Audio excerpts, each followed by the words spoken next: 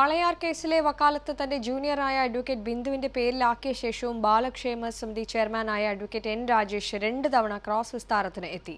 ഒരു തവണ ഔദ്യോഗിക തിരക്കുകളിലായതിനാൽ കേസ് മാറ്റണമെന്ന് രാജേഷ് ആവശ്യപ്പെട്ടതനുസരിച്ച് കേസ് മാറ്റിയിരുന്നു.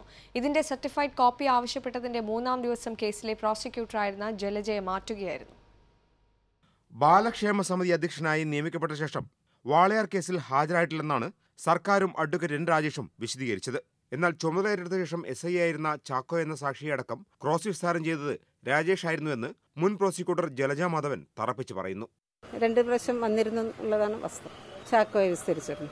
സാങ്കേതികമായി കേസിന്റെ വക്കാലത്ത് തന്റെ ജൂനിയറായ ബിന്ദുവിന് കൈമാറിയ ശേഷമായിരുന്നു രാജേഷ് ക്രോസ് വിസ്താരത്തിന് എത്തിയതെന്നത് ഗൗരവമുള്ള കാര്യമാണെങ്കിലും കോടതി അത് കാര്യമായി എടുത്തില്ല.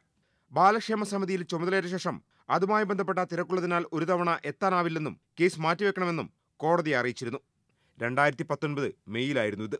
ഈ നടപടിക്രമത്തിന്റെ സാക്ഷ്യപ്പെടുത്തിയ പകർപ്പിന് പ്രോസിക്യൂട്ടറായിരുന്ന ജലജ മാധവൻ ആവശ്യപ്പെട്ട് ഏതാനും ദിവസങ്ങൾക്കകം അവരെ മാറ്റി.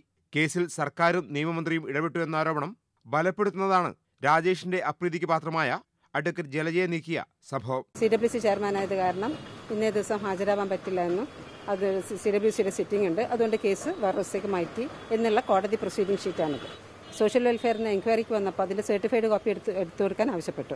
അതിന്റെ സർട്ടിഫൈഡ് കോപ്പിക്ക് ഞാൻ അപ്ലൈ ചെയ്തിരുന്നു. പക്ഷെ അത് കിട്ടുന്നതിന് പിന്നെ മാറ്റി. ആ സർട്ടിഫൈഡ് കോപ്പിക്ക് അപ്ലൈ ചെയ്തതിന് ശേഷം ഒരു മൂന്ന് ദിവസം കഴിഞ്ഞ് പിന്നെ മാറ്റി. പകരം നിയമിക്കപ്പെട്ട Latha Jayaraj L D F സർക്കാരിനെതിരെ കേസ് നടത്തി പരാജയപ്പെട്ട ആളാണെന്നതും ശ്രദ്ധേയമാണ്. ആദ്യം യു ഡി എഫ് സർക്കാരിന്റെ കാലത്ത് നിയമനം ലഭിച്ച ലത അത് നിലനിർത്താൻ സർക്കാരിനെതിരെ കേസ് നടത്തുകയായിരുന്നു.